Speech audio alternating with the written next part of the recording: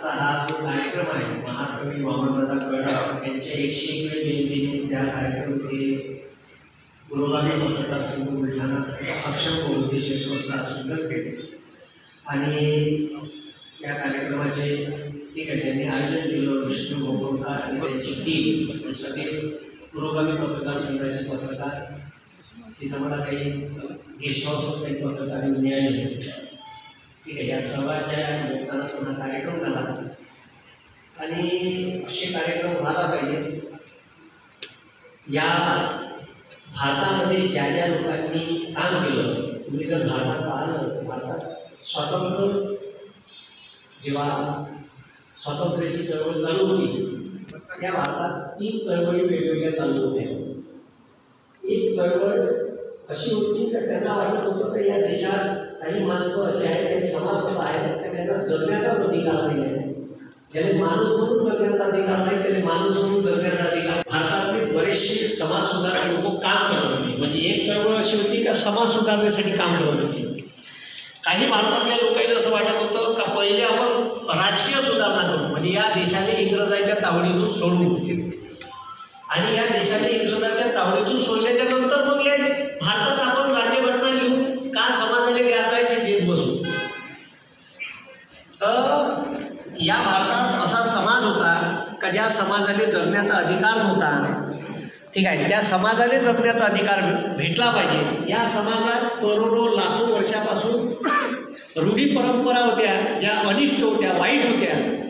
त्या अनिष्ट वाईट परंपरा कुठंतरी थांबल्या पाहिजे याच्यासाठी काही समाजसुधारक काम करून राहिले होते त्याच्यात डॉक्टर बाबासाहेब आंबेडकर होते त्याच्यात महात्मा ज्योतिबा फुले होते. त्याच्यात क्रांतीज्योती ज्ञानज्योती सावित्रीबाई फुले त्यांच्या खांद्याने खांदा लावून काम करत होत्या. त्याच्यानंतर हा जो समाज सुधारण्याचा वसा आहे तो समाज सुधारला पाहिजे. आता आणि एक अशी चळवळ पुन्हा काम करत होती का जे ठीक आहे. धर्मांतरित झालेले लोक आहेत त्यांना पुन्हा धर्मात आणायचं का? म्हणजे at a at a time स्वतंत्र भारताला मिळून द्यायच्या वेळेस तीन तीन चळवळी अलग अलग काम करत होत्या. पण याच्यातलं सगळ्यात खतरनाक काम हे देशाला स्वातंत्र्य मिळून द्यायचं आणि दुसरं म्हणजे ठीक आहे या देशातल्या ज्या माणसाला जगण्याचा अधिकार नव्हता अशा माणसाला जगण्याचा अधिकार प्राप्त करून द्यायचा. तर या ठीक आहे. या तुम्ही जर पाहाल तर छत्रपती शिवाजी महाराजापासूनचा इतिहास आहे. का छत्रपती शिवाजी महाराजाचा राज्याभिषेक जेव्हा करायचा होता तर राज्याभिषेक करायच्या वेळेस पुण्याचा ब्राह्मण बोलावला. अभिषेक तुमचा करू शकत नाही तुम्ही ठीक आहे. क्षत्रिय नाही. तो तिथून वापस गेल्याच्यानंतर गागाभट बनवा लागला काशीहून. त्यानं राज्याभिषेक केला त्याने सोन्याचे मोहरे भेट केल्याच्यानंतर पुण्याचा ब्राह्मण म्हणते म्या केला असता. एवढे जर दिल्ली असते तर म्हणजे इतके खतरनाक लोक आहे बरं हे परिस्थिती तर चारशे वर्षाच्या अगोदरची झाली.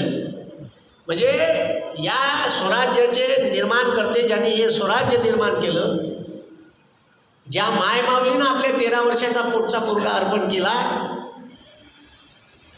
तुमचा जिल्हा त्या मायमाऊलीचं माहेरघर आहे. आणि अशा या स्वराज्याच्या संस्थापकाच्या मायमाऊली राजमाता जिजाऊ. आणि तेरा वर्षाच्या पोटच्या पोराले सांगते का हे स्वराज्य तुला निर्माण करायचं आहे. मायनं दाखवलेला विश्वास सार्थकी करून दाखवला त्या छत्रपतीनं. स्वराज्य निर्माण करायचं आहे तर हे ठीक आहे मरण असं कायद्याच्या बाहेर काढून ठेवा लागते. आणि मरण कायद्याच्या बाजूला काढून ठेवल्यावर मनात कवडीची भीती नसते का मी मेलो तरी चालत पण हे स्वराज्य निर्माण झालं पाहिजे. आणि म्हणून ते स्वराज्य निर्माण केलं आणि त्या स्वराज्याचं रक्षण करून त्याच्यात ज्या माणसानं भरीव वाढ केली स्वराज्याचे संस्थापक संभाजी महाराज ज्या मायमाऊलीनं शिक्षणाच्या अधिकारासाठी पुण्यासारख्या शहरात मुलींची पहिली शाळा अठराशे अठ्ठेचाळीसले काढली लोक सत्तेच्या विरोधात बोलू नाही शकत. लोकायला वाटते का माझ्या विरोधात पोलीस कंप्लेंट टाकन का का? मी जर एखादी फेसबुकवर पोस्ट टाकली तर मला लोक शिवा देईन का का? लोक मला म्हणन का का? त्यावेळेस त्या क्रांती ज्योती ज्ञानज्योती सावित्रीबाई फुलेंनी आपल्या पुण्यात भिडेवाड्यात मुलींची पहिली शाळा चालू केली. पण त्याच्यासाठी पहिले सावित्रीबाई शिकल्या पाहिजे आणि त्याच्या पहिले कोण शिकलं तर त्याच्या पहिले महात्मा ज्योतिबा फुले शिकले. महात्मा ज्योतिबा फुले जातीनं माई आणि जातीनं माई असताना जेव्हा ते तिसऱ्या वर्गात होते तिसऱ्या का चौथ्या वर्गात तर त्याच्या वल्लाने येऊन पुण्यातला एक भट सांगते अबे तुझे बंद कुटुंब नरकात जाईल तुला शिक्षणाचा अधिकार नाही. तू कायले पोराला शिकून राहिला? काढ ते पोरा तुझ्या. शिक्षणाचा अधिकार आमचा आहे. शिकू नको तू त्याले. तर तुम्हाला सांगतो आपलं बंद कुटुंब नरकात जाईल या भीतीनं. पोराने शिक्षणाचा अधिकार हा आमचा नाही. म्हणून त्याच्या वल्लानं शाळेतून काढलं. शाळेतून काढल्याच्या नंतर मग हातात विया दिला आणि वावरात घेऊन ज्योतिबांचे वडील त्याले वावरात घेऊन चालले होते. तर त्याचा एक शिक्षक भेटला. त्या गावाच्या पुण्याच्या त्या वट्यावर बसून होता. का रे म्हणे? कुठं घेऊन चालला ज्योतिबाला तर म्हणे वावरात कवना शाळा घ्या. तर म्हणे भटची आत्ते म्हणे का यायले शाळा शिकायचा अधिकार नाही आम्हाला? यायले शाळा शिकून आमचं बंद कुटुंब नरकात जाईल. का करू शाळेत पाठवून तरी का मोठा ऑफिसर होणार आहे? तर म्हणे ऑफिसर नाही होणार तर शाळा शिकूनच मोठे होते. तुम्ही उद्यापासून यायला शाळेत पाठवा कोण सांगितलं हा कारभार तुम्हाला? कोण म्हणते नरकात जाते? तुम्ही पाहिला मरा कोण होता तो शिक्षक? त्या शिक्षकाचं नाव आहे गफ्फार मुन्शी बेग. का नाव आहे? बेग. आता गफ्फार आपल्याला हे हिंदू मुसलमान सांगते राजकीय नेते. का सांगते? हिंदू मुसलमान. हे आता झालं हिंदू मुसलमान. या देशाच्या स्वातंत्र्य चळवळीत हिंदू मुसलमान एकोप्यानं लढले. त्यावेळेस राष्ट्रीय काँग्रेसचे अध्यक्ष राहिलेले लोक आहे का एकोणीसशे चाळीसपासून छेचाळीसपर्यंत राष्ट्रीय काँग्रेसचे अध्यक्ष होते? मौलाना अबुल कलाम आझाद. मग आता तुम्ही मला सांगा का त्या गफ्फार मुन्शी बेगनं महात्मा ज्योतिबा फुलेच्या वल्लामध्ये त्याला शाळेत पाठवा. बरं शाळेत पाठवलं महात्मा ज्योतिबा फुले शिकले. शिकल्याच्या नंतर ठीक आहे तेराव्या वर्षी लग्न झालं. महात्मा ज्योतिबा फुलेचं बालविवाहाची पद्धत होती. सावित्रीबाई नऊ वर्षाच्या होत्या.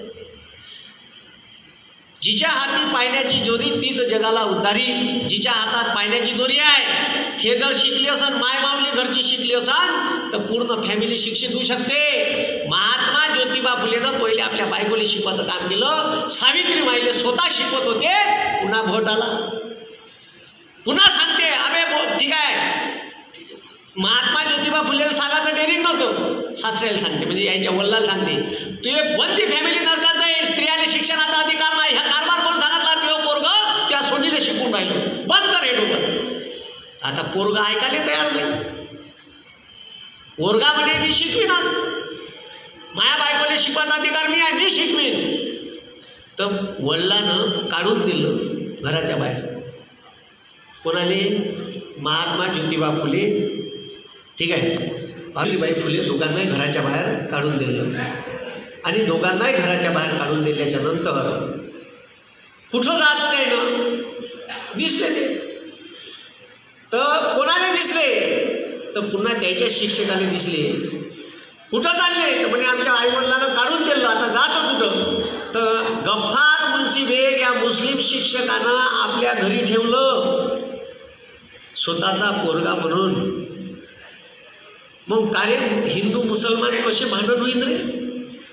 ज्या मुसलमान शिक्षकानं एका माई समाजाच्या पोराले आपल्या घरात ठेवलं आणि तो माणूस पुढं समाज रचना बदलून टाकते तो माणूस पुस्तक लिहिते शेतकऱ्याचा आसूड ब्राह्मणाचे कसब. का हे कसं तुम्हाला गुंडाळून ठेवलं आहे? ह्याच्यासाठी. मग तुम्ही विचार करा का हे जे भारतात सध्या चालू आहे आपल्याला हिंदू मुसलमान हिंदू मुसलमान सांगते. अरे मग doctor A P J Abdul Kalam कोण होईल? रे हा त्याले काही आतंकवाद्यात पकडत का साले ज्या माणसानं या देशासाठी आंतरखंडीय क्षेपणास्त्र म्हणजे इथून ऑस्ट्रेलिया उडवता येते आफ्रिकेतले कोणते उडवता येते? एवढे मिसाईल इंटर कॉन्टिनेंटल मिसाईल बनवून दिले. हे जे आता चंद्रयान उडवलं ना यायनं आकाशात हे बी त्या माणसाची पुण्याई वेळ त्यावेळेस प्रोजेक्ट हेड होते doctor A P J Abdul Kalam. मग आता या भारतात तीन अलग अलग चळवळी चालू होत्या. काही काही लोकांना वाटत होतं का या देशातला समाज पहिले सुधारला पाहिजे माणसाने माणूस म्हणून जगण्याचा अधिकार भेटला पाहिजे. आणि नवरा कसा असावा हे शिकून घ्या. नवरा त्या महात्मा ज्योतिबा फुले सारखा असावा. का त्या माय माऊलीच्या मागं ठीक आहे अविरतपणे उभा होता. पुण्याच्या शाळेत जेव्हा आठ मुली शिकत होत्या तर जेव्हा घरून शाळेत निघत होत्या तर पुण्यातल्या बायका शेत मारून फेकत होत्या. मग आता भरलेलं लुगडं घेऊन शिकवायचं कसं? झोऱ्यात एक लुगडं जास्तीचे घेऊन जात होत्या. म्हणजे अशा परिस्थितीत महिलांना शिकवलं. ज्या मायमावलीनं मुलींची पहिली शाळा सुरू केली त्या मायमाऊलीच्या शाळेने आणि या महिलांना शिक्षणाचा अधिकार त्या संविधानातून विश्वरत्न भारतरत्न बोधिसत्व डॉक्टर बाबासाहेब आंबेडकरांनी दिला. बरं एवढंच नाही दिलं. ज्यात मोठं शस्त्र असंत शिक्षण. कारण तुम्हाला अन्याय माया का होत राहिला हे शिक्षणातून माहीत पडते. अशिक्षित लोकांना अन्याय अन्याय कळत नाही. म्हणून डॉक्टर बाबासाहेब आंबेडकर जेव्हा कॅम्ब्रिज युनिव्हर्सिटीतून शिकून आले भारतात आले हे इंग्रज सोडते का म्हणे? युआर बेस्ट लॉयर खूप मोठे वकील आहे तुम्ही. आता हे किती दिवस वकिली आम्ही बॉम्बे हायकोर्टात न्यायाधीश बना न्यायाधीश. आणि मस्त एशीच्या कॅबिनमध्ये राहा राहाले बंगला देतो आणि शाही थाटात जगा. आता वामनराव कर्डकांच्या चार लाईन आहे जी म्हणून मी दाखवल्या भीमा तुझ्या विचाराचे पाच लोक असते तलवारीच्या तयाचे न्यारेचं टोक असते. आणि त्याच्यानंतरच्या लाईनी आहे भीम के लगते जिगर आधी इधर आधी उधर। दोन लाईनीतला फरक समजून घ्या. दोन लाईनीतला फरक समजून घ्या. वामनराव कर्डक म्हणतात का भीमा तुझ्या विचाराचे पाच लोक असते हे हे हे जातीनं येशील. हे आंबेडकराचे विचार असते हे शिट्टे आणि हे तलाकी होते. आणि हे चोट्ट. खूप सातबऱ्यासाठी शंभर घेते याले जोड्यानं आणायला पाहिजे. भीमाचा अनुयायी होईल? तुले लाज आहे कराशी हा. अरे तुला भीमराव वाचला असताना तुला कळला असताना तर तू त्या चौदा एप्रिलच्या रॅलीत दारू पिऊन नाचला नसता साल्या.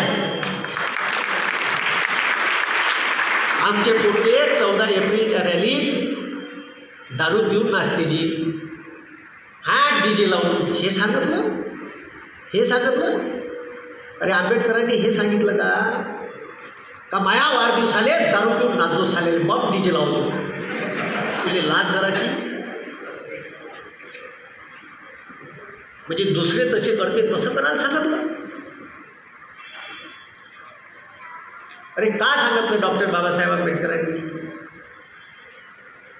डॉक्टर बाबासाहेब आंबेडकर म्हणते का शिक्षण हे वाघिणीचे दूध आहे. जो शिकेल तो गुरगुरल्याशिवाय राहणार नाही. माझ्या समाजाले पाच हजार वर्षापासून माणूस म्हणून जगण्याचा अधिकार नव्हता. मी शिक्षण घेतलं आहे. का म्हणते इंग्रज आले डॉक्टर बाबासाहेब आंबेडकर? शिक्षक आले डॉक्टर बाबासाहेब आंबेडकर. त्या इंग्रज आले म्हणते का हे शिक्षण तुमची लाचारी स्वीकारण्यासाठी घेतलं नाही आहे? माझा समाज पाच हजार वर्षापासून त्याने माणूस म्हणून जगण्याचा अधिकार नाही. तोपर्यंत मी तो त्याने विरोध घेणार नाही तोपर्यंत मी तुमची गुलामी करणार नाही.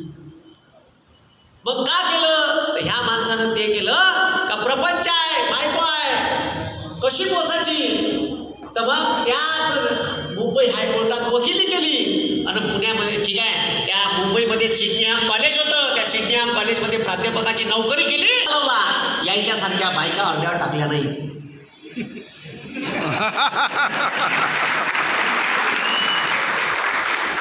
अरे ज्याचा प्रपंचच नाही ज्यानं हे भक्का सिलेंडरचे भाव. पहिला नाही का चारशे तीनचं सिलेंडर अकराशे तीनचं दिलं ज्याले प्रपंच नाही लेकरच नाही. आणि आता तर म्हणते ते लेकरं किती पैदा करायचे याचा कायदा करणार आहे. अभे पहिले तुम्ही तर करा. मग आम्हाला सांगा.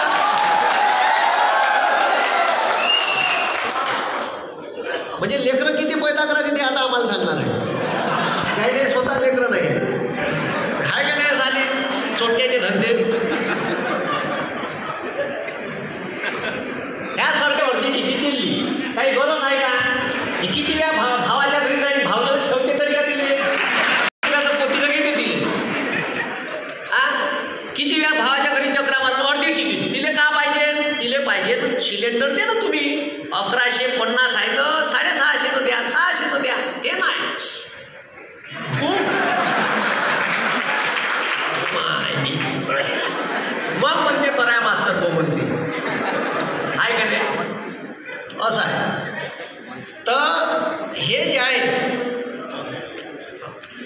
ते म्हणजे गृहमंत्री. का बोलाव संसदेत? हे कलावती बाई बुंदेलखंडची सांगितली हे कलावती यवतमाळ जिल्ह्यातली मारेगावची. बरं सांगितलं का? उसको घर किसने दिया? उसको घर किसने दिया? मोदी ने ठीक आहे. उसको पेन्शन किसने दिया? मोदी ने आपण बोलणारे मी खतरनाक. त्या कलावती बाईचा इंटरव्ह्यू घेतला पण त्यांनी हे मला सगळेच काँग्रेसच्या काळात भेटलं कितीची उपाधी म्हणजे खोटं बोलावं किती रेटून बोलावं?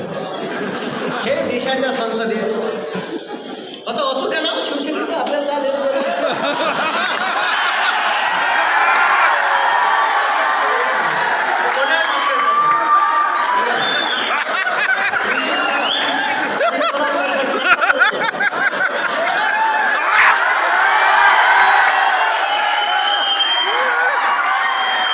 म्हणजे बोलत असाल तर मग हे असं सांगत नाही हा, ठीक आहे.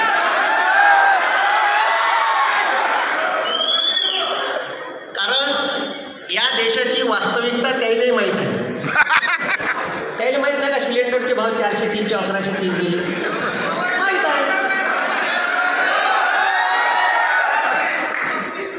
डीएपीची बॅग पाचशे अडतीस रुपयाची होती दोन हजार चौदाला आता विचारा त्याला कितीची आहे बरोबर आहे का? अरे माया बाप जेव्हा नागरटी सांगायला जाते ना ट्रॅक्टर तर ट्रॅक्टरवाला म्हणते चौदाशे रुपये रेट आहे म्हणते नागरटीचे सातशे रुपये रेट होते नागरटीचे. त्याने सांगा त्याने विचारा काऊन रेट वाढले? तर तो सरळ म्हणते डिझेलचे भाव वाढले. डिझेल का भाव होतं? तर अठ्ठावन्न रुपये लिटर होतं अठ्ठ्याण्णव रुपये लिटर झालं. वास्तविकता आहे ना या देशाची. बोलत कोण? कराय माणसानं ठेका घेतलाय का? लोकप्रतिनिधी. ठीक आहे तुम्ही गु खाऊन बसले आहे तुम्हाला मुलाला टाळा खायला वाजून राहिले तुम्हाला म्हणून राहिलो तुम्ही बोलत नाही म्हणून प्रॉब्लेम आहे हा तुम्ही बोलायला पाहिजे आपण बोलत नाही म्हणून हा प्रॉब्लेम आहे नाही वाजले का शेतकऱ्याचं सोयाबीन एकव्या बारा हजाराला गेलं तर आमच्या बापूनं त्या दाढीवाल्या बारा लाख टन डी सोयाबीनची डिओशी लावली. अमेरिकेतून. अशी डिओशी लावली जी सोयाबीन भारतात लावता येत नाही. जेनेटिकली मॉडिफाईड त्याला जी एम फूड म्हणते. जेनेटिकली मॉडिफाईड सोयाबीन जे भारतात लावायची परवानगी नाही आहे. हे तरी तीस क्विंटलचा उतारा आहे तिचा. ते भारतात लावता येत. नाही तुम्ही बीटी लावता ना बीटी म्हणजे जेनेटिकली मॉडिफाईड तिचा उतारा जास्त आहे. आपण पहिले लावा कापूस. तर चार एकरी चार क्विंटल आता वीस उतरते हे जेनेटिकली मॉडिफाईड फूड आहे. तिथं लावायची परवानगी आहे. जी सोयाबीन भारतात लावायची परवानगी नाही त्याची ढेप बोलावली. ते ढेप कायले वापरते? ते ढेप वापरते. ते जे डुकरं पोचते ना कापाचे त्याले कोंबड्या. ठीक आहे? मच्छ मत्स्य उत्पादन. त्याच्यासाठी वापरते. आता डिसेंबर दोन हजार एकवीसपासून कंटिन्यू भाव वाढून राहिले होते. सोयाबीनचे. ऑगस्ट महिन्यापर्यंत नाही बोलावले. ज्या महिन्यात सप्टेंबर महिन्यात शेतकऱ्याचं सोयाबीन निघते ऑगस्ट महिन्यात ऑर्डर देईल ना जी? साला होईल कास्तकाराचं सोयाबीन निघायच्या वेळेस का? त्याने दोन घास दिवाळीचे सुखाचे खाऊ दिले असते तर यायचं काही गेलं असतं का याच्यासाठी शिक्षणाचा अधिकार दिला आहे तुम्हाला. काही हे तुम्ही बोला या ठिकाणी घेतला आहे. संविधानानं आर्टिकल एकोणीस नाही हा नाही दिला आहे. तुम्हाला मी दिला आहे. म्हणून माझं सांगणं आहे हे जे राजकीय लोक आहे हे जे तुमचे लोकप्रतिनिधी आहे यानं तुमचे प्रश्न हे संसदेत मांडायला पाहिजे. तुम्ही कोण्या पक्षाचे राहा. तुम्ही राष्ट्रवादीचा झेंडा उचलून का तुम्ही धनुष्यबाण घ्या? का तुम्ही कमाई घ्या? कुण्या पक्षाचा? पण आपल्या समाजावर अन्याय होत असेल तर बोला. नाही तर फेकून द्या तो झेंडा.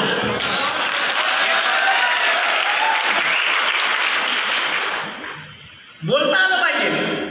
जर तुम्ही बोलत नसाल आमच्या माणसावर अन्याय येऊन राहिला ह्या महाविकास आघाडीनं मागं भरती काढली होती त्यावेळेस कोणत्याही आरोग्य भरतीचं शेल्टर दुबई दिलं ना जी दुबई? हा पडी कोणत्या बंदी नसून उडवलं एका पोट्याला सेंटर दुबई होतं.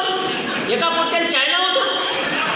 जरा हा जराशी लाज आहे ना मॅम मम्म्या कायची सुस्ती केली मॅ टोपेची आरती ओवाळली. तुम्ही पाहिजे असेल टोपेची आरती ओवाळली तर. आपल्याला काय देणं देणार सर्वसामान्यावर अन्याय झाला तर बोला तो पक्ष कोणताही असो तो राष्ट्रवादी असो का तो शिवसेना असो का तो बी जे पी असो का तो काँग्रेस असो. काय घेणं देणं नाही आपण सर्वसामान्य माणसं आहे ज्याची कळते त्याला कळते.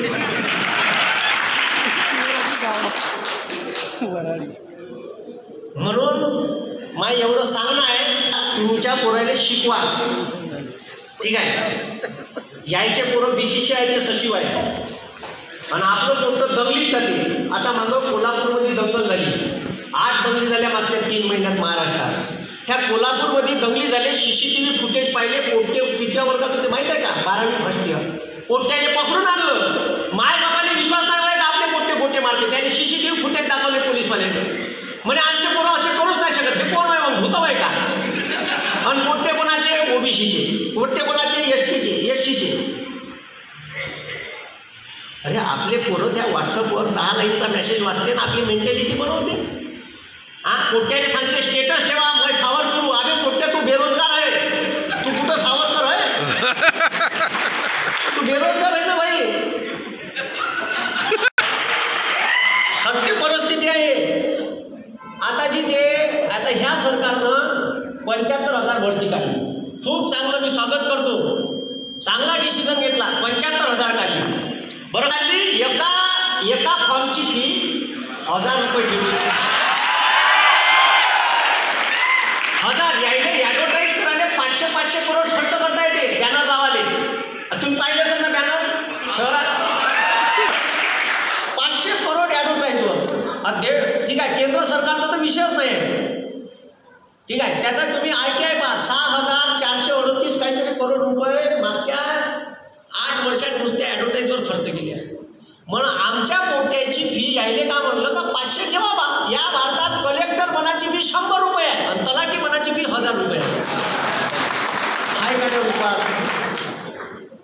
एक एक ग्रॅज्युएट झालेला पोरगा एक ग्रॅज्युएट झालेला पोरगा तलाठीचाही फॉर्म भरता येते ग्रामसेवकाचाही भरता येते वनरक्षकाचाही भरता येते वनरक्षकाच्या ज्या क्लर्कच्या जागा आहेत त्याचाही भरता येते. म्हणजे एक कोट्याने जर पाच ठिकाणी फॉर्म भरायचे आहे दिलेले त्याचे पाच हजार त्याच्या घरी पैशाचं झाडच आहे. ठीक आहे?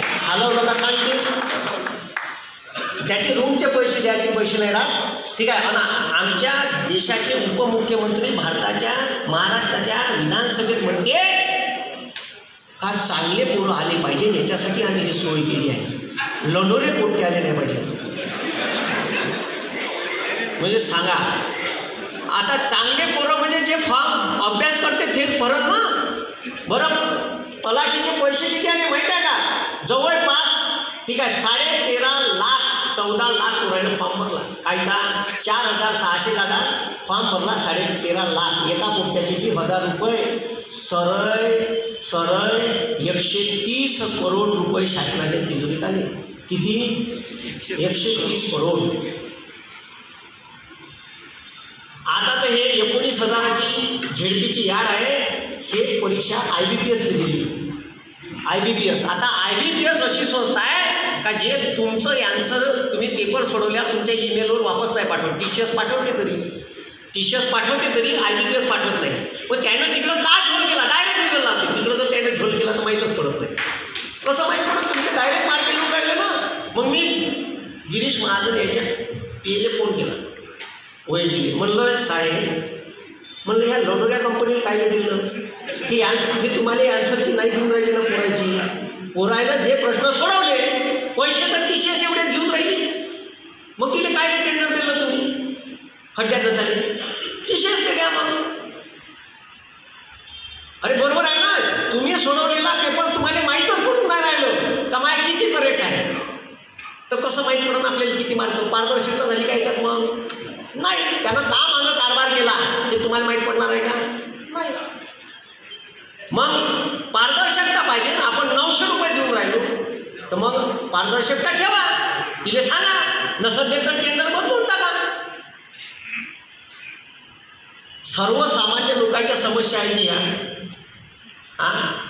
खत आपल्याला घ्यावं लागते फवाऱ्याचं औषध आपल्याला घ्यावं लागते. त्या दिवशी एका दुकानात गेलो मी फवाऱ्याचं औषध घ्यायला सोयाबीनवर मारायचं. आता कास्तकार आहे त्याला विचारलं हे तर दोन वर्षाच्या अंतर एवढं महाग नव्हतं का? एवढं औषध महाग का? तिथं काय तो कंपनीचा माणूस आला. तो म्हणे करायचं नव्हतं हो बा म्हणलं सर म्हणे महाग काम झाले औषधं माहीत आहे? चारशे चारशे रुपयानं महाग झाले म्हणे औषध. काऊन झाले? त्याला विचारलं काऊन झाले बा? औषध तर तेच होय. म्हणे या सरकारनं बॉटलवर वेगळ्या जी एस टी त्याच्या झाकणावर वेगळ्या जी एस टी ते टोकर चिपकवते त्याचे प्लॅस्टिकचा कागद कव्हर त्याच्यावर वेगळ्या जीएसटी त्याच्यात मध्ये एक लिक्विड पदार्थ येते सॉल्वंट आणि एक सॉलिड पदार्थ येते तो मिक्स करते. ते- ह्या दोन्ही पदार्थावर वेगवेगळ्या जीएसटी आहे प्रत्येक गोष्टीवर जीएसटी लावला म्हणे. आणि आमच्या बापून लावलाच भाऊ. ठीक आहे या देशात गांधीजीनं मिठावर टॅक्स लावला तर आंदोलन केलं होतं जी. आणि मिठावरचा टॅक्स बंद केला होता आमच्या बापूनं. तुरीची डाळ तांदूळ गव्हावर जी एस टी लावला जी बॅग तीस किलोच्या आत आहे. तीस किलोच्या वर आहे. मग तीस किलोचाच कट्टा आहे तुरीचा डाळ आपण मध्यमवर्गीय माणूस आपला बाप आणते दोन तांदळाचे कट्टे एक तुरीच्या द्यायचा कट्टा आणि दोन गव्हाचे पोते. वर्षभराचे निया ड्राममध्ये भरून ठेवतो आपण. मग आता पण तीस किलोच्या वर कट्टा मध्यमवर्गीय माणूस घेते त्याच्यावर टॅक्स लावला. अन्नधान्यावर. मग बोलायचंच नाही का जी आज मी तुम्हाला सांगून राहिलो का या देशात इंग्रजांनी मिठा गॅस लावला तर आंदोलन केला. मग तुम्ही रस्त्यावर उतरले का? हे स्मृती इराणी दोन हजार तेराले कोब्या वांगे तसं डाळ,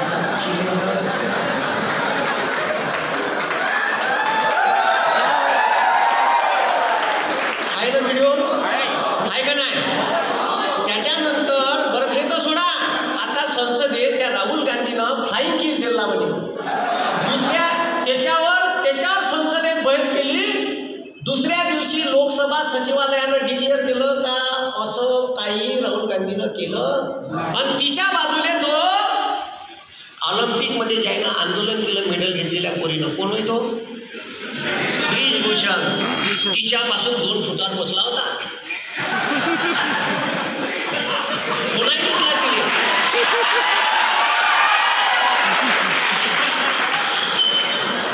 सत्य आहे का नाही? एक शब्द देशाचं नाव जगात गौरव केलं आहे त्या पोऱ्यानं.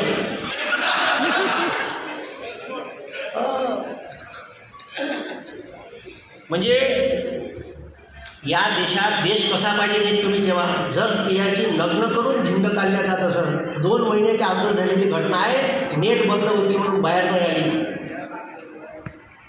ठीक आहे? बस्ती में आग लगी तो अपना अपना घर भी उसमें बर्बाद हो सकता है याद रखना। आग लागलेली आपल्या घरापर्यंत कवा ते सांगता येत नाही मणिपूरची आग हरियाणात आली ना? अरे आली का नाही? हा, मग आपल्या महाराष्ट्रापर्यंत कवा ते सांगता येत नाही?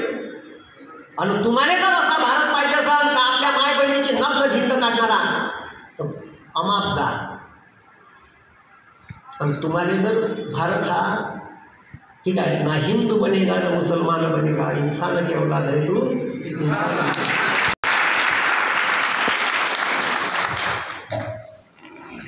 का सांगू राहिलो? लोक मायावर पोलीस केस करायला जाते सालं मी संविधान समजून सांगतो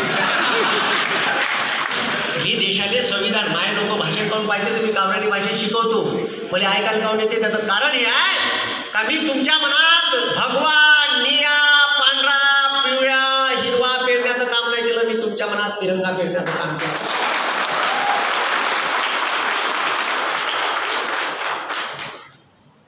आणि माझ्यासाठी सर्वात मोठं मंदिर कोणतं असलं पाहिजे? तर माझ्यासाठी ठीक आहे सर्वात मोठं मंदिर कोणता? गुरुद्वारा नाही कोणती मस्जिद नाही कोणता चर्च नाही कोणतं मंदिर नाही. माझ्यासाठी सर्वात मोठं मंदिर या देशाचं संविधान असतं. या देशाचं संसद असली पाहिजे. कारण या देशाच्या कल्याणासाठी कायदे त्या संसदेतून बाहेर येतात. तुमच्यावर अन्याय होत असेल अत्याचार होत असाल त्या देशाच्या संसदेत कायदे बनल्या मग आपल्या पुरायले सर्वात मोठं मंदिर ठीक आहे हे संसद असली पाहिजे. एकोणीसशे सत्तेचाळीसचा फोटो पाहाजी एक जानेवारी एकोणीसशे पन्नासचा. आणि आताचा नवीन उद्घाटनाचा फोटो पहा. नवीन संसद हा? कोण आहे तिथं? महाराज आहे म्हणजे देश कुठं न्यायचा आहे. बरं ते तर सोडा. ते तर सोडा. देशाच्या राज्यघटनेतलं कलम एक्कावन्न भाग चार अ. याच्यात मूलभूत कर्तव्य दिले आहे. देशाच्या नागरिकांचे देशाप्रती असलेले कर्तव्य. त्याच्यातलं एक कर्तव्य सांगते का भारतातल्या लोकांनी विज्ञाननिष्ठ दृष्टिकोन बाळगावा. का बाळगावा? विज्ञाननिष्ठ. आणि आमचा आमचा संरक्षण मंत्री राफेल घ्यायला फ्रान्सने जाते त्याने लिंबून मिळते लावल्या म्हणजे ते लिंबून मिरच्या पाहिल्यावर पाकिस्तानकडून बॉम्ब आला तर अरे बाबा लिंबून मिरच्या आधी वापरतो या पोराईले का शिकवण द्यायची आहे काय शिकवण द्यायची? आहे ठीक आहे. मी नाही म्हणून राहिलो संविधान म्हणून राहिलो का विज्ञाननिष्ठ दृष्टिकोन पाहिजे ते मागं का नाही देशाची फ्रान्सची संरक्षण मंत्री उभी होती? दिस इज ते पाहून राहिले की काही का करून राहील? अरे कमीत कमी देशाची इज्जत बाहेर तर नका काढू. घरात काढत झालं वेगळी गोष्ट घरातल्या घरात निपटून टाकू. देशाच्या बाहेर तुम्ही इज्जत काढून राहिले बरं. स- संविधान म्हणून नाही माय वैयक्तिक मत नाही. म्हणजे आपण पोरायला काय शिकवलं पाहिजे? का दिलं पाहिजे? आणि हे वास्तविक परिस्थिती सांगतो मी. याच्यातलं एक जरी खोटं असेल तर यायला माझ्या पोलीस केस करून घ्या. मी का न्यायालयात द्यायचं ते उत्तर देत बसेल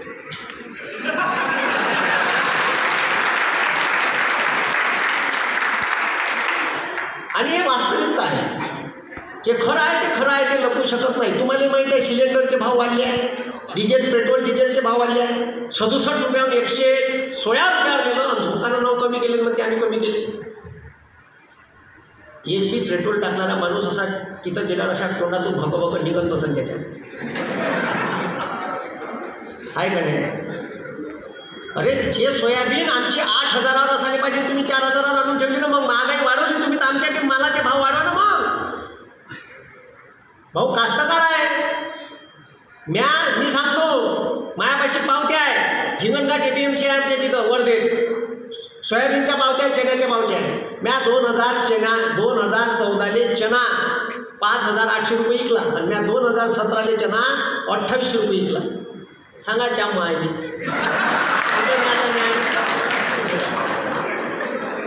अठ्ठावनशे रुपये चना चौदा विकला आणि म्हणजे अठ्ठावनशे रुपये अठ्ठावीसशे रुपयाचे ना सतराला विकला.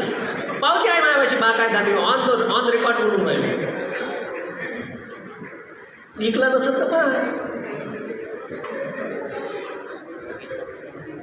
बरं हे सरकार असंच आताच नाही करत. आपली तूर का नाही बारा हजारावर गेली होती. माहिती आहे तुम्हाला? तुरीचे दाय बारा हजार. दाय दोनशे रुपयावर गेली होती. गेली होती ना? बरं एवढे लोक मोरले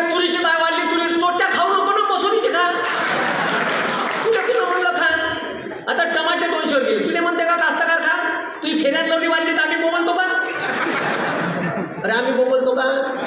आमचा खताचा भाव आला आहे. बोलून राहिला का कास्तकार? त्याला बोलायला वेळ नाही बिचारायला मरमर वावरात करून राहिला.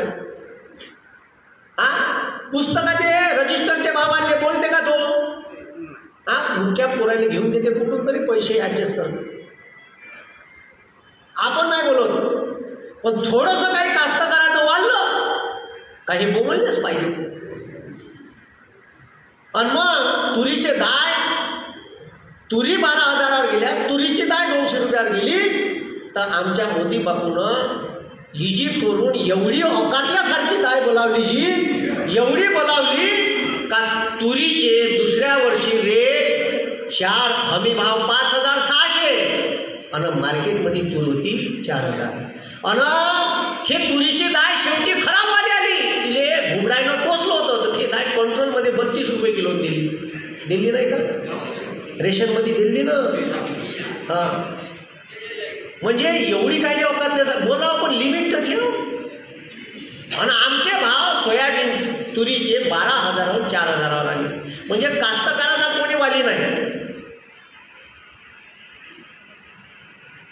कास्तकाराचा कोणी वाली नाही. कोणी येईन तर ते आपलं ढेबरं भरते ठीक आहे? मग आता तुम्ही विचार करा का या देशात ठीक आहे खरंच अच्छे दिन आले का? घे ना मग शिकून गरम फडक्यानं. अरे जेव्हा पेट्रोल सदुसष्ट रुपये होतं आता एकशे सहा रुपये आहे. जेव्हा डिझेल अठ्ठावन्न रुपये होतं आता अठ्ठ्याण्णव रुपये आहे. डी ए पीची बॅग पाचशे अडतीसची होती आता चौदाशे अठ्ठेचाळीसची आहे. तर घे शिकून मग. आम्हाला नाही पाहिजे असे आजचे दिन आम्हाला आमचे पुरे दिन वापर द्या दिन पाहिजे ती? नाही पाहिजे असे आजचे दिन कोणा कामाचे? हे वास्तविकता आहे. आणि लोकांनी एवढी भीती आहे. मी आता काँग्रेसवाल्याला मी झापलं मागं धरून. हा. म्हणलं मी एवढा मोदीच्या शिंगावर घेतो. मी एवढं उघडपणे बोलतो उद्या माझ्या जीवाला धोका आहे. तुम्ही मला धमक्या येते तुम्ही मला एकतरी मनावर सपोर्ट देता का? ते नाही तुमच्या तुमच्या खासदार आमदार बोलते का म्हणलं? तुम्हाला ती ईडीची भीती आहे. उद्या ईडी येते. बोला म्हणलं. म्हणलं मी बोलून पाहिलो मला काही वॉरन सपोर्ट तुझी काही काळजी नका करू. हाय तुमच्या माझा असं तरी म्हणता का? माया बाप म्हणते तू एवढा बोलत नको जाऊ. की एक पहिले शब्द बापाने एकटा आहे. आणि त्याच्यात एवढं डेली आता हे व्यवस्थेच्या विरोधात काही साधी गोष्ट आहे बोलून पाहिलं ठीक आहे? मायापाशी काय? मायापाशी शस्त्र आहे आणि मायापाचं शस्त्र आहे शिक्षण.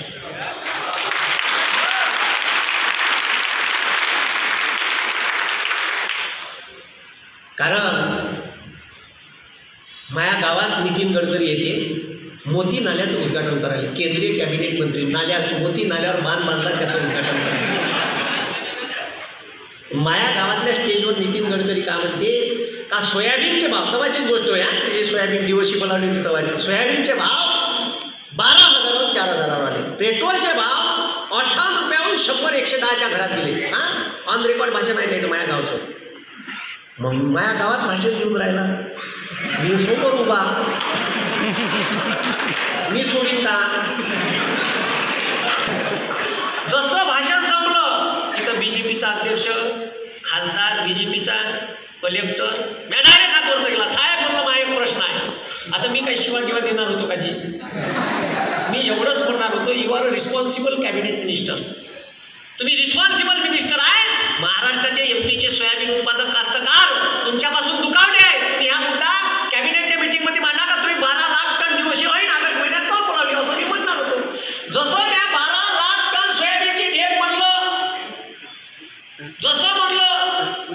पहिले सांगत पहिलेच त्याने हेच म्हणतोय आपली शीट पडली आहे ना. पदवीधरची. बावन्न वर्ष आपली सत्ता होती. तुम्ही निवडून आले त्याच्यात तीन व्या हे शीट यानं पाडली.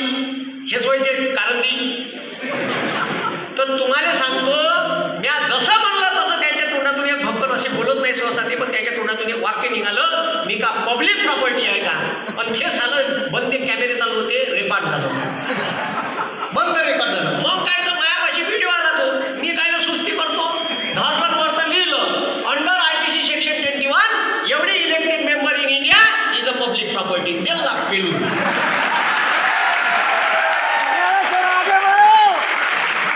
भारतातला प्रत्येक निवडून येणारा माणूस हा पब्लिक प्रॉपर्टी असतो ही प्रश्न विचारण्याचे अधिकार तुम्हाला आहे आणि मग माया गावातले शंभर बीजेपीचे कार्यकर्ते माझ्यासोबत भांडायला लागले तो गेल्या हे वेळ आहे का हे आपल्या गावात पाहुणे म्हणून आले हा कार्यक्रमाचा सत्यानाश केला इथं विचारायला पाहिजे का प्रश्न म्हणजे घरी जाऊन विचारायचा अबे म्हणलं का मला नितीन गडकरी पाचशे कार्ड भेटते का बे म्हणलं माया गावात आले त्यानं सांगितलं सोयाबीनचे भाव मी आता म्हणलं नाही माया कोणानं मग विचारला प्रश्न म्हणे ठीक आहे इथं नव्हता विचार अबे म्हणलं त्या घरी किती सोयाबीन आहे तो म्हणे माझ्या एकशे साठ क्विंटल आहे माझ्या घरी साठच आहे म्हणलं चोट्यात तुझा प्रश्न मांडला नाही तुला तो माहीत पाठ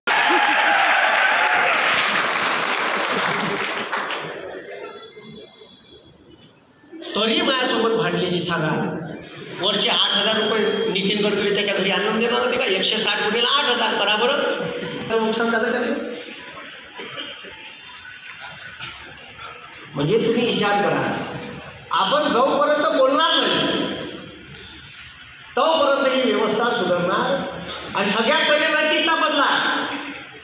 आपण राजकारणी लोकांकडून निवडणुकीच्या वेळेस पैसे घेतो मटणाच्या पार्ट्या खातो आणि मतदान करतो पाचशे की नोट मटन की बोट और तेरे को चोट. आणि त्यानं जर चार पाच कोटी खर्च केले तुमच्यावर तर तो दहा कोटी काढल. तुमच्यासाठी लढते झगडते तुमचे मुद्दे या देशाच्या विधानसभेत संविधानात संसदेत मांडते. ठीक आहे? त्याने मतदान करा. चांगली माणसं निवडून घ्या कारण आतापर्यंत आपण हेच सांगत आलो आहे आता आपल्याकडे एखादा मुलगा निवडणुकीत तुम्हाला एक बोललो, त्याचा बाप म्हणते, "बे, राजकारणात जाऊन काही करता असतो काय तर आपलं नाही आहे."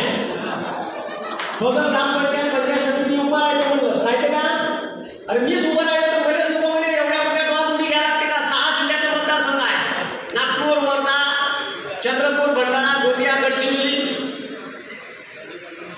मग आता एवढ्या मोठ्या टोळा तुम्ही काय घेतली म्हणे तुला काय म्हणलं भेटत म्हणे दोनशे मत काय नाही देणार भेटत ना दोनशे मत जेवढे भेटत तेवढे पाहू म्हणजे संविधानावर उभं राहायचा अधिकार केला ठीक आहे मग आता हे जे मी तुम्हाला सांगून राहिलो का हे देशाची अशी वास्तविक स्थिती आहे. आणि या वास्तविक स्थितीवर तुम्ही बोललं पाहिजे याच्यासाठी मी जागृती करायला येतो. गाडगे महाराज सांगून गेले का एकच उपाशी राहा पण आपल्या पोराने शिकवा. सांगून गेले ना? सांगून गेले का नाही गेले मग मग आपले पोरं शिकून मोठे झाले पाहिजे. अरे पण त्या भारतात ओबीसीने एक गोष्ट नाही आहे ओबीसीच्या पोट्यासाठी. आणि ओबीसी झोपू नाही या देशात आणि एकही गोष्ट नाही आहे ओबीसीचं. बावन्न टक्के ओबीसी आहे. मी नाही म्हणून राहिलो. मंडल आयोग म्हणते मी म्हणून राहिलो माझ्या म्हणजे आकडेवारी सांगू राहिलो ना नाही. मंडल आयोग म्हणते का? बावन्न टक्के आहे. याच्या कुणाला किती म्हणजे सत्तावीस. त्याच्यातही त्याचं राजकीय आरक्षण रद्द केलं होतं सुप्रीम कोर्टाने मग केलं होतं का नव्हतं केलं हा मग ते पुन्हा आता वापस आलं आता एवढी गोष्ट नाही आम्ही वारंवार सरकारकडे मागणी केली दोन हजार चौदा ते एकवीसच्या कालखंडात देवेंद्र फडणवीस सरकार होतं त्याने म्हणलं ओबीसीला हॉस्टेल द्या एका जिल्ह्यात एक तरी करा मग महाविकास आघाडीचं सरकार ठीक आहे यानं घोषणा केली ठीक आहे यानं घोषणा केली ठीक आहे घोषणा का केली का दोन ठीक आहे दोन हॉस्टेल देतो मग आता दोन हॉस्टेल देतो तर ते महाविकास आघाडी पैसेच नाही पण दुसऱ्या सरकार आता ठीक आहे हे जे सरकार आहे या सरकारनं ठीक आहे म्हणजे आता कलेक्टरने आदेश पाठवले का तुम्ही ठीक आहे तुम्ही दोन हॉस्टेल ठीक आहे किती हॉस्टेल दोन हॉस्टेल जिल्ह्यामध्ये जागा पहा तर आता मी ठीक आहे आता मी विधानसभेत गेलो तर विधानसभेत गेलो असताना मी मुनगंटीवार साहेबांनी म्हणलं का ओबीसीच्या हॉस्टेलचे ठीक आहे. जागा पाहिल्या का नाही याच्यासाठी तुम्ही फॉलो घ्या म्हणून. कारण ओबीसीचा कोटा मुलं शहराचं सायन्स करायला आला तर पंधराशे रुपयाची रूम करायची त्याची सोय नाही राहत कारण त्याला बाप वगैरे लागते बरोबर तो कसा रूम करण मग त्याने ठीक आहे हॉस्टेल भेटलं पाहिजे. जागा जिल्ह्या जिल्ह्याच्या ठिकाणी पाहून नाही ठीक आहे ते आता पंधरा तारखेपासून सुरू झालं पाहिजे. पंधरा ऑगस्ट तारीख होती त्याची. पुराचे पाणी सुरू झाले. प्रश्न आपले ठीक आहे?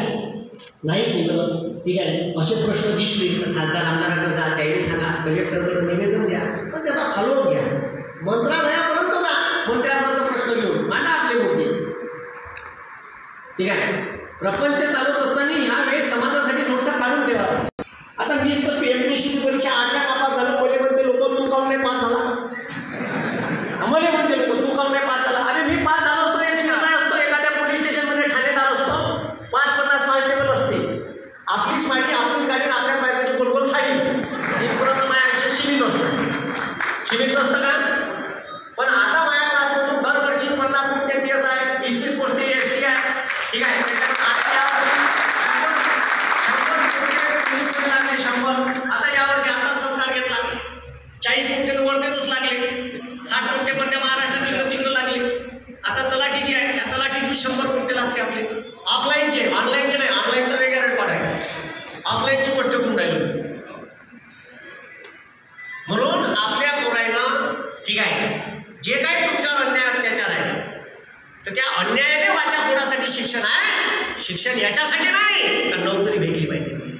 नोकरी हे सेकंडरी प्रॉडक्ट आहे शिक्षणाचा. ठीक आहे? म्हणून ठीक आहे तुझ्यावर अन्याय अत्याचार झाला त्याने वाचा फोडाचं काम शिक्षण करते आणि हे डॉक्टर बाबासाहेब आंबेडकरांनी सांगितलं. म्हणून ठीक आहे तुमच्या घरात ठीक आहे तुमच्या घरात छत्रपती शिवाजी महाराजांचा फोटो लावा. आणि त्याच्या बाजूने डॉक्टर बाबासाहेब आंबेडकरांचा लावा. कोणताही माणूस घरात घुसल्यावर विचार केला पाहिजे की हे साधं कुठल्या कॅटेगरीत सिंगल होय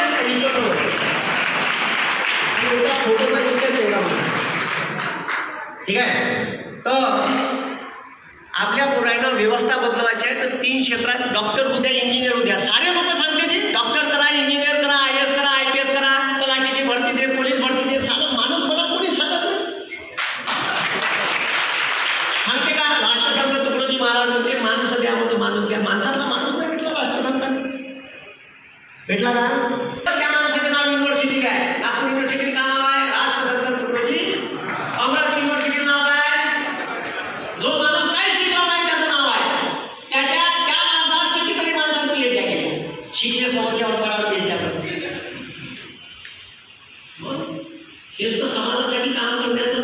आहे तुमचं ठीक आहे तुम्ही जे काम केलं समाजासाठी तुम्ही शिकली इथं का जो माणूस शिकला नाही त्याला युनिव्हर्सिटीचं नाव आहे जो माणूस सात वर्ष पास आहे त्याला युनिव्हर्सिटीचं नाव आहे बरं समाजासाठी मोठ्या वेळी आठवण येते समाजाची कॅन्सर होता कॅन्सरनं डेथ झाली द्यायची नागपूरच्या सिव्हिल हॉस्पिटलमध्ये भरती होते त्यावेळेस बहुतेक वसंतराव नाईक का कोण होते? वसंतदादा पाटील मुख्यमंत्री होते. आठवून नाही राहिले ते भेटाला नागपूरले राष्ट्रसंताने म्हणते का तुम्ही इथं तुमचा इलाज होत नाही तुम्हाला कॅन्सर आहे तुम्ही मुंबईला चला. तुकडोजी महाराज म्हणते मी मुंबईला येईन मी प्रसिद्ध आहे म्हणून तुम्ही मला म्हणून राहिले. असे कितीतरी कॅन्सरचे पेशंट आहेत ते असेच मरण ना. म्हणजे मी मरीन परिणाम येणार नाही. तुम्हाला असं वाटत असाल का या विदर्भातली माणसं मुंबईत नाही गेले पाहिजे इथंच उपचार झाला पाहिजे? ते हॉस्पिटल तयार करा. तेव्हा त्या मेडिकल चौकात नागपूरले राष्ट्रसंत तुकडोजी महाराज नावानंच कॅन्सर रिसर्च सेंटर उभं केलं. महाराष्ट्र शासनानं. मराठ्या समाज आठवला पण आपलं फक्त डॉक्टर झालं गायनॅकॉलॉजिस्ट झालं पहिल्या दिवशीपासून वखरणं चालू करते. येऊ द्या सीझर पन्नास हजार. नॉर्मल पंचवीस त्याला काही देणं देत नाही समाजात मी जेव्हापासून क्लास घ्यायला लागलो तेव्हापासून माया कमाईतले पंधरा वीस टक्के दान करतो. माया क्लासमध्ये शेतकरी आत्महत्याग्रस्त शहराच्या पुरायला मी खूपच शिकवतो.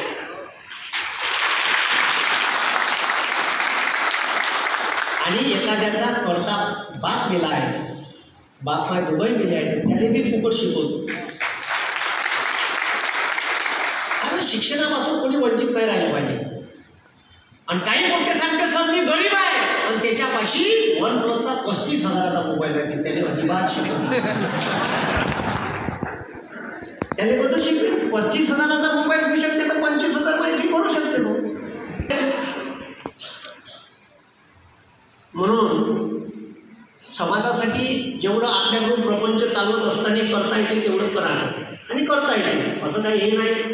ठीक आहे समाजासाठी रोजचे दोन तीन तास एखाद्याचं घरकुल काढून द्यायचं एखाद्याचं आधार कार्ड काढून द्यायचं एखाद्याचं रेशन कार्ड काढून द्यायचं. तुम्ही बी करू शकता. हे खूप मोठी गोष्ट नाही थोडेसे चक्रा मारा लागते तहसील ऑफिसमध्ये आपल्या पैशाने. काहीच नाही. अधिकाऱ्याच्या उरावर गेले का त्याचं त्याने चारच दिवस गेले काय आलं वाटते साले त्याचं डोकसंच दुखते तो हो, कामच करते तुमचं रोज रोज गेले का? ते सर मनच आहे सरकारी काम दहा महिने काम म्हणून आपले पोट्टे जर तुम्हाला समाजाने न्याय द्यायचा आहे तर आपले पोट्टे तीन क्षेत्रात जाऊ द्या. किती क्षेत्रात? पहिलं क्षेत्र आहे तर आपले पोट्टे हे राजकारणात गेले पाहिजे. कायच्यात गेले पाहिजे? राजकारण. आपले पोट्टे जिल्हा परिषद लढवली पाहिजे पंचायत समिती लढवली पाहिजे. ग्रामपंचायत इतकी सुंदर लोकशाही आहे की हे. एवढी सुंदर लोकशाही आहे का या देशात ग्रामपंचायतचा सदस्य माणूस या महाराष्ट्रात मुख्यमंत्री होऊ शकते विलासराव देशमुख उदाहरण आहे त्याचं. पेपर वाटणारा माणूस doctor A P J Abdul Kalam या देशाच्या सर्वोच्च पदावर राष्ट्रपती पदावर जाऊ शकते. ज्या माणसानं पेपर वाटणार आणि इतकी सुंदर लोकशाही आहे का चाय विकणारा देशाचा पंतप्रधान फक्त चार किलोमीटर ही माहिती. तीन ठिकाणी फक्त फोटो नाही काढले. एक लग्न केल्यानंतर. आणि चाय तीन फोटो काढले तर इतकी सुंदर लोकशाही आहे आपलं जर मोठं आमदारकी लढलं नुसत्या सत्राच्या उठून नाही राहतं खासदारकी लढलं तर आपलं मोठं मंत्री होईल भविष्यात? आणि जेव्हा हे मंत्री होईल आणि हे जर मागास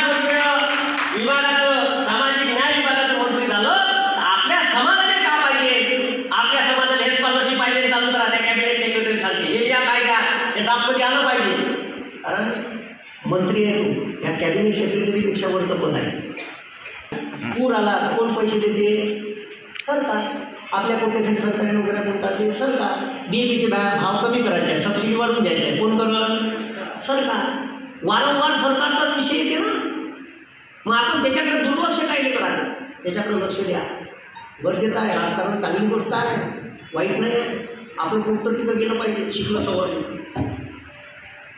म्हणून आपले पोट्टे जर तिथं मंत्री झाले मुख्यमंत्री झाले तर सर्वसामान्यांनी न्याय द्यायचं काम कराल कारण जेव्हा डॉक्टर बाबासाहेब आंबेडकरांच्या हातात प्रजा समितीचं अध्यक्षपद आलं तर त्याही वाटलं का मी या समाजातल्या सगळ्या लोकांनी न्याय देऊ शकतो आणि सगळ्या लोकांनी सगळ्या नेत्यांना न्याय. सगळ्या स्त्री पुरुष S C S T OBC ओबीसीने दिलं. तीनशे चाळीस घालून. तेव्हा ते सत्तावीस भेटलं नाहीतर ते बी नव्हतं भेट भेटत त्याच्यानंतर दुसरं क्षेत्र कोणतं आहे सर तर दुसरं क्षेत्र आहे का आपले पोटे युपीएससी एमपीएससीच्या परीक्षेतून अधिकारी झाले पाहिजे. कारण आपलं पोट युपीएससीची परीक्षा पास झालं कलेक्टर पाहिलं असेल ना तुम्ही? कलेक्टरचे पावर तुम्ही कोरोनाच्या काळात पाहिले असेल. व्हॉट्सअपवर एक शिक्का मारून आदेश आहे. चहाचे दुकानं भाजीपाल्याचे दुकानं मेडिकल चक्क्या ठीक आहे? मेडिकलचे सब बंद पुरे क्षेत्रात झालं दुसऱ्या दिवशी आदेश आहे. मेडिकल चक्क्या चहाचे दुकानं भाजीपाल्याचे दुकानं उघडे बाकी ढोबर. सही कोणाची? कोणाची? मग आता असा कलेक्टरच्या मागं राजमुद्रा राहते अशी खुर्ची समोर तीस चाळीस खुर्च्या. दरवाजा उघडाले एक माणूस. बॅग बाबाले एक माणूस एक बंदूकधारी कॉन्स्टेबल. हे सगळं त्याला गव्हर्नमेंट देते. राहिले बंगला गाडी गाडीचं पेट्रोल सब गव्हर्नमेंट देते त्याची त्या पोट्याने फक्त बायको तरी तुझी कर म्हणते आणि कोणी असं तर नवरात्र तू पाय बाकी सर्व आम्ही देतो. आणि हे मोठं युपीएससीची परीक्षा पास झालं ट्रेनिंग झालं काय रे? जिल्हा परिषद ठीक आहे सीईओ बनवते. चीफ एक्झिक्युटिव्ह ऑफिसर त्याला पाच सहा वर्ष तिथं घासलं आणि एल करते. आणि तिथून प्रमोशन करते कलेक्टर कलेक्टरवर सात आठ वर्ष काढले का त्याला पाच जिल्ह्याचा हेड करते. डिव्हिजनल कमिशनर तिथं एखादा आठ दहा वर्ष काढले का त्याला करते? भारत महाराष्ट्राचा कॅबिनेट सेक्रेटरी एखाद्या मंत्रालयाचा प्रमुख. आणि हे जर मंत्रालयाचा प्रमुख केलं हे शिकलं राहते याला वीस वर्षाचा एक्सपिरियन्स आहे तर हे त्या मंत्र्याने सांगते साहेब असं नाही असं करावं लागते. याने जर समाजाला न्याय द्यायचा आहे चांगल्या स्कीम द्यायच्या आहे शेतकऱ्याला द्यायचा आहे ह्या त्या कायद्यात योजनेत ठीक आहे लोकांच्या कल्याणाच्या गोष्टी टाकते आपले कुठे ब्युरोक्रॅट झाले पाहिजे ब्युरोक्रॅट्स तिथं घुसले पाहिजे. ठीक आहे दुसरं क्षेत्र आहे न्याय द्यायचं. ठीक आहे आणि पैसे घेऊन न्याय देता येते बरं. आपला प्रपंच पगार सगळ्या सुविधा घेऊन. आणि तिसरं क्षेत्र कोणतं आहे? तर तिसऱ्या क्षेत्रात आपले कोणतेच नाही आहे. काही झालं काही येऊन जाऊन प्रश्न कुठं सुप्रीम कोर्ट. ओबीसी राजकीय आरक्षण कोणा रद्द केलं होतं सुप्रीम कोर्ट गेलं कोण सुप्रीम कोर्ट धनुष्यबाण कोणाचा मान इकडे ओढते धनुष्य इकडे ओढते तुटला गेला प्रश्न कुठं गेला सुप्रीम कोर्टात बरं सुप्रीम कोर्टात चौतीस न्यायाधीश आहेत चौतीस न्यायाधीशातले मोजून बोटात मोजण्यासारखे चार बहुजनाचे आहेत S C S T OBC ही जी आहे. बाकी